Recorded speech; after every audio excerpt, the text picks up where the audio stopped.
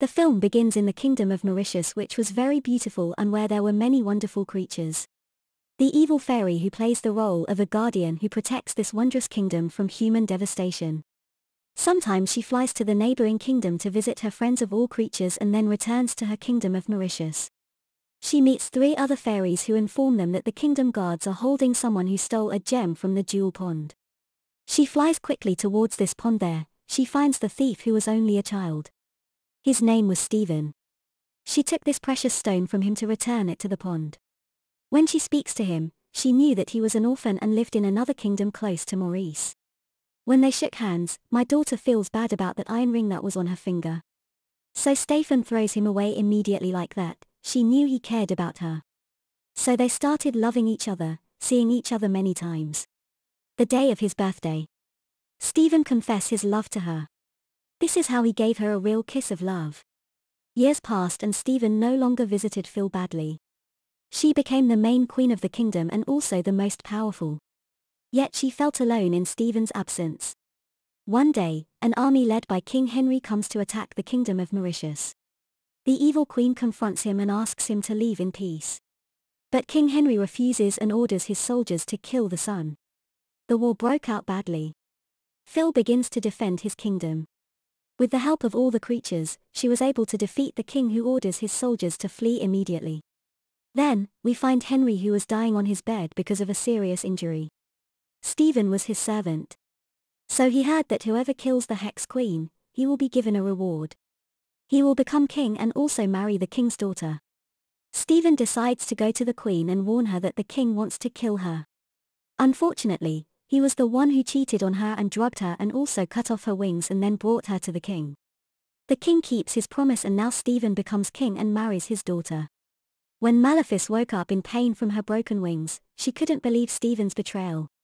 With her supernatural power, she transforms a crow into a human who was once a real man named Diaval.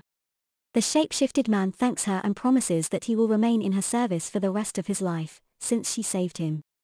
So she asks him to tell her the necessary information about the other kingdom. She tells him that Stephen betrayed him to become king of the other kingdom. So sad, she turns her wonderful kingdom into a dark one and establishes a scary throne. Years have passed and Stephen has a daughter. My daughter heard that he was having a big party at his palace, so she decided to go too. Among the guests, there were three fairies who sought to reconcile the two kingdoms and live in peace. Upon entering the mansion, my daughter met Stephen who was very scared. Mal, son decides to give a present for his daughter by placing a curse on her, assuming that she will grow up peacefully until the age of 16 when a sewing needle will prick her finger and she will sleep forever. Stephen begged her, but in vain. Phil confirmed to him that this curse can only be removed if someone kisses him with a true kiss of love. And surely she is convinced that it will not happen, because Stephen has betrayed. Stephen gets angry and orders the destruction of all the sewing machines in his kingdom and puts them in his cell inside the palace. So he gives them to the three fairies to take the little princess to raise her in a distant place until she turns 16. Stephen orders his soldiers to search for hexes, but she has built a barrier to protect her kingdom. Indeed, the phenomena the little princess, to raise her in a distant place, out of evil spells, was able to discover where she is.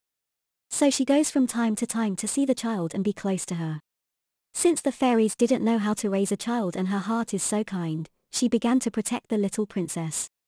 At the same time, Stephen was trying to get revenge on her, but his attempts fail in the face of her strong resistance. Stephen begins to lose his temper and remembers that his weak point was iron. So he orders all the blacksmiths in the kingdom to make iron chains instead of the fairies. My daughter takes care of the little one every day. The little girl Aurora, began to grow up and also to love Malefics. One day, when Aurora grew up, she saw the barrier surrounding the kingdom of Mauritius. She was curious and wanted to know what was there. At the same time, the soldiers were close to them. Hex sensed the danger and quickly transformed into a wolf which attacked them. She also used her magic to hypnotize Aurora. This is how she was able to eliminate them and return to God in her normal form. Under the influence of magic, she took Aurora to her kingdom. When she woke up, she was very happy to be among all the creatures of this kingdom. Aurora feels safe when she's around. She is also proud to get to know Set before. She becomes happy with them. Nevertheless, she puts him to sleep again and she feels guilty for the curse she put on him when she was young as she loved him very much. Now Aurora lives happily with all the creatures in the kingdom she loved, but Hex was trying in vain to deactivate Aurora's curse. Aurora asks Malefice about her wings. She replies that the wings are not necessary and that they were stolen from her. At this time, Stephen is very afraid on his daughter because she has reached the age of 16. The moment when she will be cursed has arrived. Aurora decides to live with Malefic in her kingdom for the rest of her life. She was very happy with the decision. Aurora goes for a short walk and meets Prince Philip who wanted to go to Stephen's kingdom and whose path he did not know. He admires himself then she shows him the way. He go away. At this time, said is wrong. Sun watched what was happening between them. Diaval said that this prince could be the perfect solution to end Aurora's curse if she is kissed by the true lover. But Hex was sure that wasn't possible. She cursed her like that, because she knows there is no real love. Aurora returns to the hut where she lived with the three maid. She tells them that tomorrow will be her 16th birthday and that she would like to live in the kingdom of Mauritius.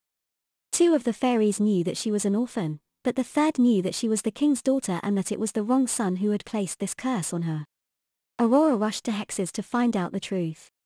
When she was at the height of her remorse, of her sadness, she decided to leave her and go to the palace with her father. When her father saw her, he ordered the guards to imprison her in his room to protect her from this curse. At that time, Hex met the prince that Aurora loved and she slept with her magic. Unfortunately, Aurora managed to escape her room and make it to the location of the burned sewing machines and where she puts her finger on the cursed needle. All of this was happening out of his control. As the curse took place, Stephen blames the three facts for everything that happened, but they tell him the curse can be lifted if a true lover kisses him. He replied to them that there is no real love. So Hex was able to bring the prince and Aurora, hoping the curse would be lifted. So the three fairies asked her to kiss him so that the curse would be removed. He kissed her, but the curse was not yet gone. Male Fist intervenes. She holds Aurora's hand, asking her to forgive her and regretting everything she had done, she ends up kissing her on the head. Suddenly Aurora woke up and the curse was gone. Malefice then decides to bring her back to the kingdom of Maurice. Leaving the palace, and since Malefice's weak point is iron, Stephen had set up an iron trap for them. She fell in, the guards started attacking her and her energy started to weaken because she was very sensitive. With her magic, she was able to create a fire-breathing dragon to defend her. She then asked Aurora to run away for her life. But unfortunately the guards were able to surround her and the king who was putting on iron armor with chains and swords started beating her until he felt she was at the peak of her weakness. So he tried to kill her. At the same time, Aurora was trying to help her.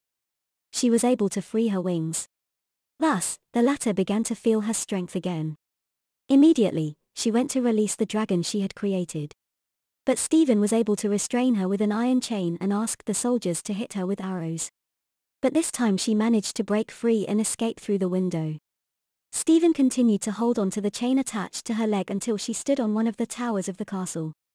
So she got rid of him, but she couldn't kill him despite everything Stephen did. He ran after her until they both fell off the top of that tower. She managed to save herself, but poor Stephen died. The next morning, Aurora is ill. Phil turned around in Maurice and tore down the large barrier that had been built. Maurice returned to her beauty that was in the past and Aurora became the queen of that goodness. Eventually, Princess Aurora lived peacefully with Prince Philip. Thus, Malefice achieved his remarkable dream and punished both kingdoms.